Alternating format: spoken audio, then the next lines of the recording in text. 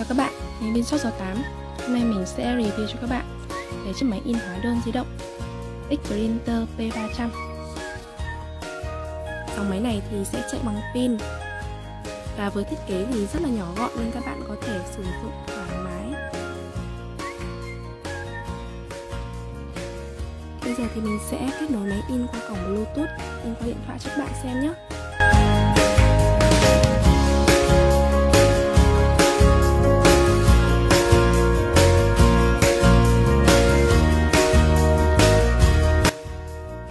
máy in qua điện thoại rất là tiện lợi, phải không ạ?